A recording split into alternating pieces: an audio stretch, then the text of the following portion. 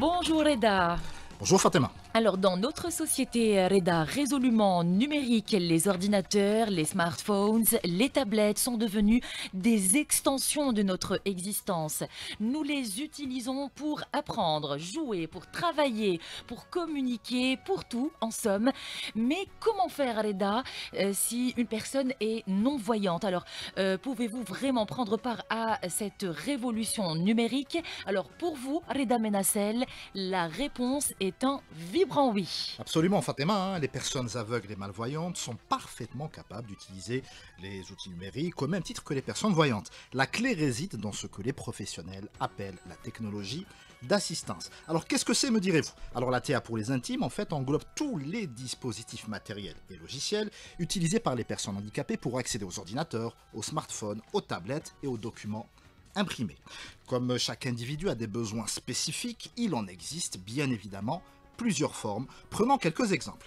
Alors imaginez Fatima que vous deviez utiliser l'ordinateur hein, que vous avez là devant vous dans le studio sans pouvoir voir le curseur sur l'écran, ni même l'écran lui-même. Avouez que ce serait un peu compliqué.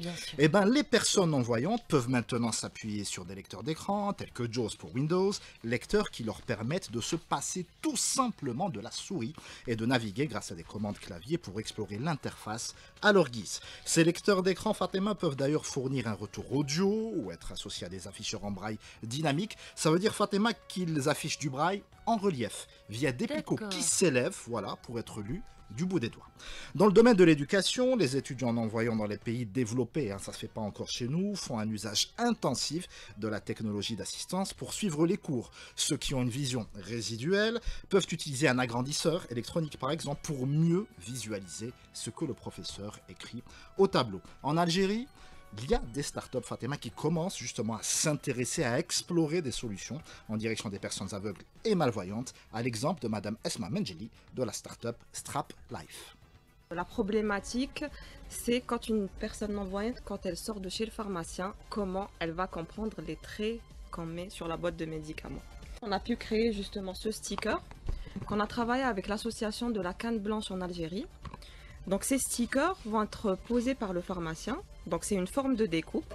Donc c'est un E. Pour la lecture, donc le carré, ça veut dire le début euh, de la lecture. Donc matin, midi, mhm. soir. Et comment savoir euh, combien de comprimés on doit prendre? C'est tout simple, on va trouver. Donc le carré, la personne non-voyante touche, si elle trouve un trou, ça veut dire elle va euh, prendre un comprimé. S'il n'y a pas de trou, elle prendra pas. Et c'est le pharmacien qui va trouver ou bien l'aidant qui va faire ces trous au niveau des boîtes de médicaments justement pour aider la personne à comprendre euh, la, posologie. Voilà, qu'on soit clair. Donc le braille euh, sur les boîtes de médicaments, il indique uniquement le nom mm. du médicament, mais il n'indique pas la posologie. Deuxième problématique, c'est que c'est pas toutes les personnes non-voyantes qui connaissent le braille. C'est vrai. Troisième problématique, il y a des personnes qui naissent non-voyantes, il y a des personnes qui deviennent non-voyantes. Donc c'est pour ça, le sticker, c'est simplifié. Comme je vous ai dit, on l'a fait avec. Euh, Monsieur Mustafa Ben Aboun, qui est président de l'association de la canne blanche. C'est avec lui qu'on a euh, vraiment trouvé cette forme de découpe et ils l'ont utilisé eux aussi à leur niveau. On a pu euh, avoir une convention avec l'ordre des pharmaciens pour justement faire la distribution au niveau des officines. Et puis en ce moment, on est en négociation avec un laboratoire pharmaceutique pour qu'ils prennent en charge justement ces stickers et on va les distribuer au niveau des officines.